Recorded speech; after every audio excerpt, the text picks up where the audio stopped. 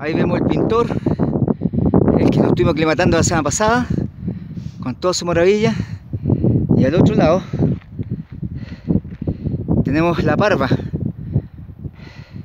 La parva. Venimos de, regreso del plomo. Estamos pasando por detrás.